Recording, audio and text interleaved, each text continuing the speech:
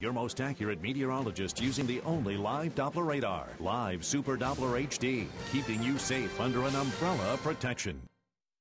Welcome back, everyone. Cloudy skies out there, and temperatures already above normal for this time of year. Normal's highs in the mid 30s. We're at 42. A little bit of a wind chill with that south wind blowing. Feels like 36. 3 p.m. temperature 44. 6 p.m. at 40.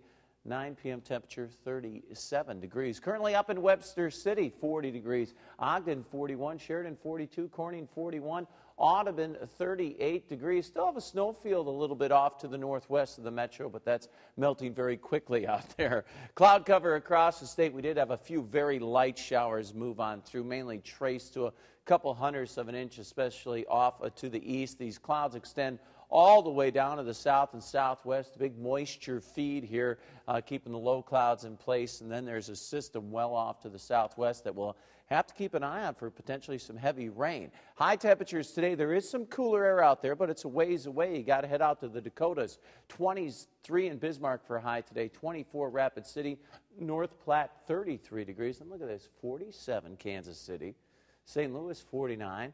46 in Chicago, Green Bay 39, 40 in Minneapolis. So the cool air over this way, the rest of us, mild conditions. This front will just kind of hang up across northern Iowa. And then as we head in through Tuesday late afternoon, here's a developing area of low pressure. It's right now in the desert southwest. By tomorrow evening, it'll be in Colorado and New Mexico and headed our way with a lot of rain. So here's Futurecast cloud cover out there tonight.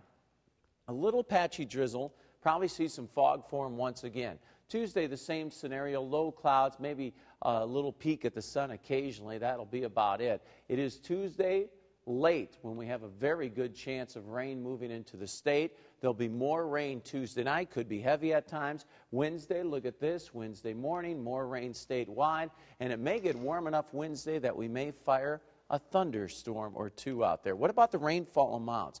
Well, here's Futurecast, and looks like the heaviest rain will be off to the northwest. Over an inch of rain, Mason City, Fort Dodge, Sioux City, Council Bluffs. Computer models bringing in a half or a little more here in the metro. 7,900 Lamoni, 9,200 in Ottumwa. So a good soaking across the state with this system. Today, your high temperature 45 degrees, cloudy, mild out there with south winds. Tonight, we stay above the freezing mark. Fog once again, 33 out there. Southeast winds 3 to 8. Again, the next three days, 40s, even 50s on Wednesday, normal high 35.